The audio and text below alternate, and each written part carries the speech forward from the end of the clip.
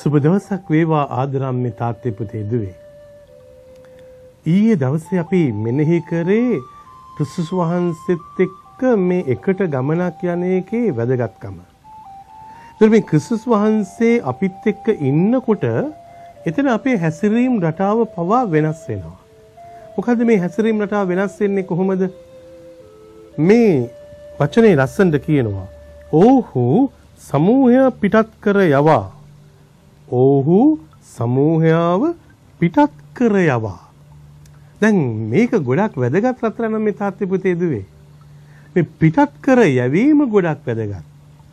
ඒ නිසා අපිට මේ මිනිස්යන් වශයෙන් විතරක් නෙමෙයි සත්ව ලෝකයේ අරගෙන බැලුවත් සමහර වෙලාවට ඒගොල්ලෝ සමුදෙන විදිය, ඕගොල්ලෝ ඒගොල්ලෝ අතහැරලා දාලා යන විදිය, ඒගොල්ලෝ යන්න ඉඩ දීලා ඉන්න විදිය දැක්කම හරිම පුදුමාකාරයි.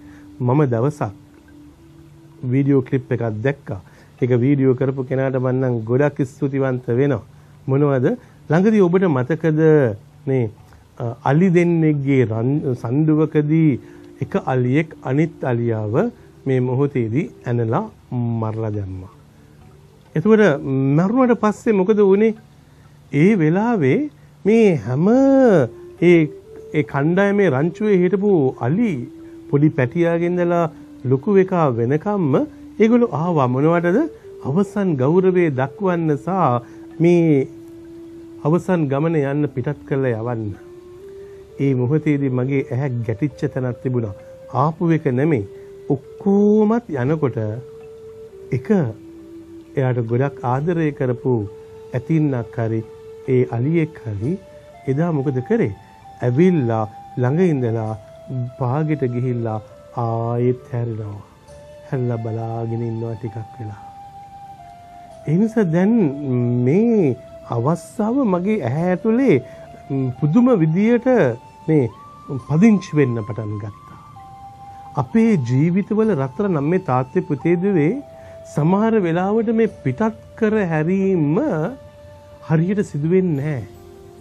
ඔබ හිතලා බලන්න ඔබේ මහත්තයාව පිටත් කර යවන්න ඔබ කොච්චරක් ලකලැස්සි වෙනවද?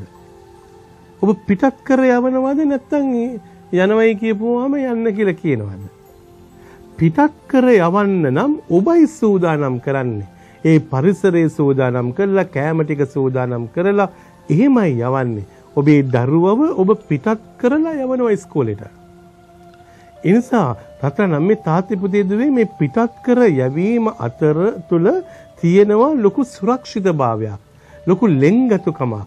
ඒ නිසා දැන් මේ ගොඩක් වෙලාවට දැන් අම්මා වැඩට යනවා තාත්තා වැඩට යනවා දුවලා ක්ලාස් යනවා පුතාලා පන්ති යනවා කවුරුවක්වත් මේ මොහොතේදී මේ පිටත් කර යවන්න කෙනෙක් නැහැ. ඒ නිසා දැන් මගට එන්නේ නැහැ. දැන් ගොඩක් වෙලාවට මේ මගට ඇවිල්ලා මේ පාර බලාගෙන ඉන්නවා යනකම්. දැන් මේ ලෙන්ගතුකම් නැහැ. මහත්තයා රස්සාවට යනකොට වයිෆ් අනිත් පැත්තට හැල්ලා නිදාගෙන කියනවා එහෙනම් ඔයා පරිස්සමෙන් යන්න මම තව පොඩ්ඩක් නිදාගෙන නැගිටින්නම් කියලා. එහෙමත් නැත්නම් මහත්තයා කියනවා මේ ඔයා උදේ පාන්දර නැගිටලා යන එකට මම මොනවා කරන්නද අනේ මට චුට්ටක් නිදා ගන්න ඕනේ මං නිදා ගන්න. ඊට පස්සේ නැත්තම් කියනවා මම මේ වැඩ ගොඩක ඉන්නේ ඔයා යන්න යන දිශාවක ගිහිල්ලා එන්න. එතකොට අම්මේ තාත්තේ පුතේ දුවේ මේ පිටත් කර යැවීම සිදු වෙනකොට එතන තියෙනවා ලොකු කැක්කුමක් පැෂන් එකක්. ඒ නිසා මේ ගෝලය ජේසුස්වාමීන් වහන්සේත් එක්ක ඉන්නකොට ඒ සමූහය දහස් ගණනක් මිනිස්සු එකතු වෙලා ඉන්නකොට ඔවුන්ව දාලා නිකන් නැගලා ගියේ නැහැ. ඔවුන්ට යන්න අවශ්‍ය කරන මාවත් ටික බැලුවා. සමහර වෙලාවට හෘද සාක්ෂිය මටත් කතා කරනවා. මම මෙහෙ ඉවර වෙලා එනකොට නේ ගොඩක් වෙලාවට මෙහෙ ඉවරුණ ගම ආයෙත් මිනිස්සු වට කරගන්නවා. මේ මිනිස්සු යනවද මේ පිටත් කර යවන්න මට බෑ. මම සමහරවිට හරියටම දුක් වෙනවා දෙයියනේ මෙහෙ ඉවර වෙලා මටත් පුළුවන් වුණා නම් කාරේ ගේට්ටුව ගාවට යන්න මිනිස්සු යන්න ඉස්සර එතකොට නේ ඒ මිනිස්සුන්ත් එක්ක සිනා වෙලා ජේසු පීඨයි කියලාවත් අඩුම ගානේ මිනිසුන්ට යන්න පුළුවන්කමක් තියෙනවා. පරිස්සමෙන් ගිහිල්ලා එන්න පුතේ කියලාත් කියන්න පුළුවන්කමක් තියෙනවා. ඉතින් මේවා අපේ ජීවිතවල ගොඩක් අත්‍යවශ්‍ය දේවල්. ඉතින් ඔබට මම ආරාධනා කරනවා ඔබගේ ගේ ඇතුලේ ඔබගේ ඔෆිස් එකේ ඔබේ වැඩපළ ඇතුලේ ඔබ වැඩ කරන තැන මේ හැම තැනම ඉන්න අයව ජීවිතේ ඔහේ දාලා ඉන්න එපා. ඔහේ දාලා යන්න එපා. ඒ නිසා උත්සාහ කරමු. මාත් උත්සාහ කරන්නම්. ඔබත් උත්සාහ ගන්න. අපි ඔක්කොම අනිත් කෙනාට යනකොට පාරට වෙලා සුබ පතමු. ගේ ගොඩ දොර ළඟ ඉඳලා සුබ පතමු. ගේට්ටුව ළඟට ගිහිල්ලා සුබ පතමු. මේ මොහොතේදී යන්න දේ සාර්ථකයි. හැම දෙයක්ම හොඳට වෙනවා.